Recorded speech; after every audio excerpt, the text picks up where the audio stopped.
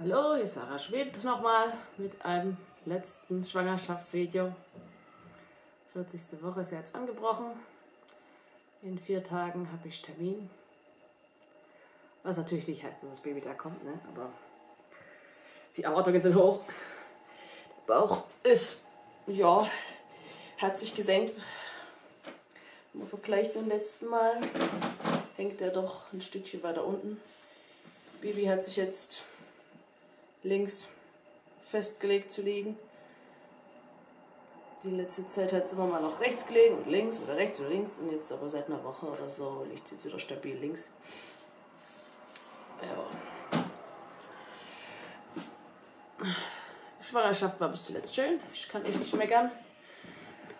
Ähm, es ist bei den zwei Arztbesuchen geblieben, wo ich einmal war, um meine Schilddrüsenwerte zu überprüfen und ähm, einmal um mir Stützstrümpfe verschreiben zu lassen. Und sonst ging es mir prima, kann ich nicht meckern. Also ein großes Danke an diesen schönen Körper. Und natürlich bin ich auch echt dankbar für das Wetter, für den kühlen Sommer, den wir hatten bis jetzt. Und jetzt kommt nochmal der Endsport. Schönes Wetter für die Draußengeburt. mal gucken, ob das alles so aufgeht, wie ich mir das wünsche. Die letzten Vorbereitungen sind getroffen. Ich habe meine Babysachtenkiste ähm, ausgeräumt und die Schublade eingeräumt.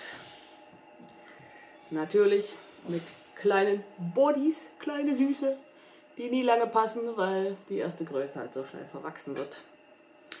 Ähm, ein paar Wegwerfbindeln für den Anfang. Die sind ganz praktisch, solange das mit dem Kindspech noch nicht durch ist. Aber dann nach ein paar Tagen will ich dann das Baby doch lieber abhalten und in Stoffbindeln haben. Dafür habe ich hier mir solche Überhosen genäht. Da kommt das hier um Bauch und dann wird das hier so drunter gestopft. Und da fehlt natürlich dann noch die Einlage. Eine schicke, gefaltete, simple Mullwindel, noch von meiner Mutter. Die stopfe ich da so rein und dann kommt da das Pipi rein. Das Kaki geht eh meistens dann in den Topf, Asiatopf, wo ich das Baby drauf halte. So, und damit das auch bei kühlerem Wetter eine einfache Angelegenheit ist, habe ich hier Schlitzstrumpfhosen. Also ich habe mir Strumpfhosen einfach in der Mitte geschlitzt. Dann kann man leichter aufklappen und abhalten. Ja, dann will ich diesmal ausprobieren. Ich habe ja sonst immer diese Wegwerfstillanlagen. Jetzt habe ich mal schicke Stoffstilleinlagen, die will ich mal testen. Ich hatte schon mal welche getestet, die waren aber nicht so gut, aber die sollen ganz toll sein. Mal gucken, ob sie es auch wirklich sind. Dann habe ich natürlich für die, für die Fortbewegung eine Trage. Den Kinderwagen habe ich auch. Aber ich bin nicht so der Kinderwagenfreund, vor allem am Anfang. Und hier habe ich eine E-Mai-Trage. Darin kann man auch von Anfang an tragen. Das ist nämlich hier mit Tragetuchstoff und dann kann man das verstellen. Tragetücher habe ich auch, aber das ist so ein Gewickel, da bin ich inzwischen faul geworden. Aber hier, das Ding fand ich beim letzten Kind ganz praktisch und äh, das wird es wohl diesmal auch wieder tun. Und wir haben einen Gipsbauch gemacht, so wie wir das immer machen, bei jedem Baby bis jetzt. Da, ich darf das Werk präsentieren. Gemeinschaftsarbeit äh, mit meinen Kindern. Da ist das schicke Teil. Da machen wir dann zu jedem Geburtstag einen Handabdruck drauf. Ja, sonst den Geburtsplatz habe ich auch schon ausgesucht, vor einer Weile schon, und getestet, wenn es nachts kommt, wie es ausleuchtet, damit ich schön filmen kann. Und schön filmen will ich nämlich haben.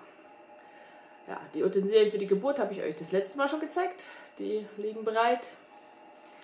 Und der Schlafplatz müsste erweitert werden hier im Familienbett, weil sonst das Baby nicht reinpasst.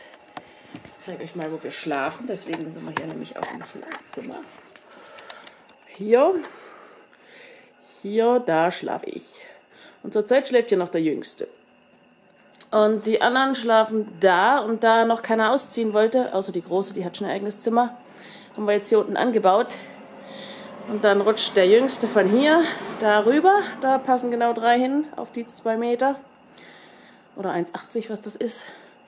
Und hier diese 1,20 Matratze, da bin dann ich und das Baby auf der Seite, damit sich die Großen da nicht drauf rollen können.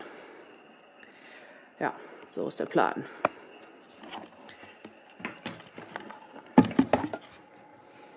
Und ganz wichtig, ich habe mir natürlich auch Hilfe fürs Wochenbett organisiert. Meine Mama kommt und ähm, ein paar andere Leute haben auch gesagt, dass sie mir helfen würden.